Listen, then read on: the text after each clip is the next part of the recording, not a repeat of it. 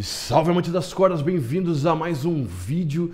Quem acompanha aqui o canal sabe que eu não tenho o hábito de postar vídeos de desabafo, mas puta merda, não tinha como não gravar esse vídeo hoje. Eu postei semana passada um vídeo do Slash tocando blues. Eu só postei esse vídeo porque eu achei um, um vídeo dele com o B.B. King e achei aquilo excepcional, não conhecia. Realmente foi algo muito bacana para mim. O Slash é um cara que sempre me influenciou desde moleque. Acho a pegada dele, a melodia dele incrível, enfim. É, estava na hora de fazer um vídeo sobre o Slash aqui pro canal.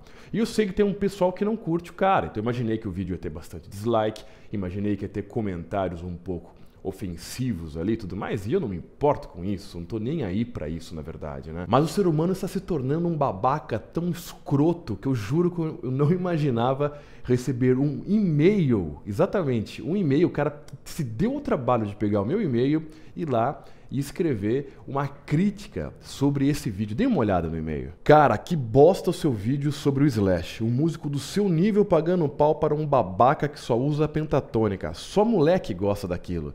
Eu achava seu canal interessante, mas cancelei a inscrição depois dessa merda de vídeo.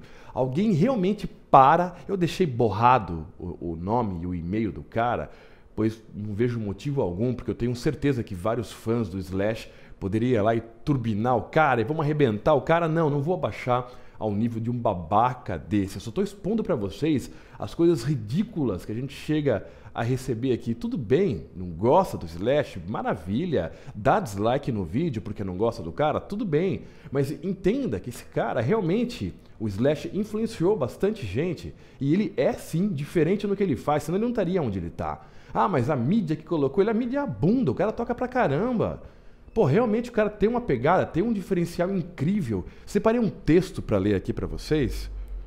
O Slash tem recebido elogios da crítica como guitarrista desde o início de sua carreira, recebendo diversos prêmios e homenagens até hoje. A revista Time nomeou o vice-campeão em sua lista de os 10 melhores guitarristas em 2009, enquanto que a Rolling Stones o colocou em 65º lugar em sua lista de os 100 maiores guitarristas de todos os tempos, em 2011.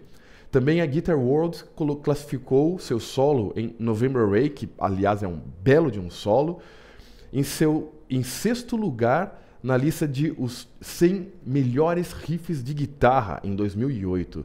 E a Total Guitar colocou seu riff de Sweet China Mine em primeiro lugar na sua lista de 100 maiores riffs em 2004. Em julho de 2012, Slash recebeu uma estrela na calçada da fama de Hollywood em Los Angeles, que foi aonde o músico cresceu. E depois de tudo isso, o cara vira e fala: Ah, o Slash é um bosta. O cara só usa pentatônica ali. Malemar sabe fazer duas escalinhas na vida dele ali. Cara, eu já analisei música dele, eu já encontrei bastante cromatismo interessante, já encontrei escala menor harmônica no meio da sua improvisação. Agora, se o cara tem a habilidade de fazer uma escala menor harmônica que todo mundo já a reconhece devido ao seu intervalo total, ele consegue fazer com que isso soe de uma forma tão natural. Isso não seria um talento dele? Realmente, os solos dele são completamente melódicos e, e, harmoniosos, muito bacana, muito gostoso de se ouvir. Se o cara consegue fazer isso com uma tranquilidade enorme, que é o que ele faz, isso não é um talento do cara? Ah, pelo amor de Deus, em vez de vocês perderem tempo de ficar mandando uma porcaria de e-mail desse, vai estudar guitarra, vai tentar compor o que o cara compõe. Vai tentar ter a fama que o cara tem, a, a, mídia colocou ele lá, a mídia colocou na tua bunda, pelo amor de Deus, cara. Eu tenho certeza que esse vídeo provavelmente não vai ter muitos views e nada. Eu conto com a ajuda de vocês. Eu quero que esse vídeo chegue em 3 mil likes para que o YouTube dê um engajamento bacana com esse vídeo e todo mundo veja o quão. Olha o nível que a gente chegou. Olha o nível de ódio que o ser humano chegou. Cara, 2018 é um ano que eu pretendo espalhar muita paz para todo mundo nos meus vídeos e vocês vão acompanhar isso. Chega disso, galera. Chega disso. Eu poderia muito bem ter deixado o e-mail do cara e vamos lá todo mundo arregaçar. Não, chega. Para isso, pelo amor de Deus.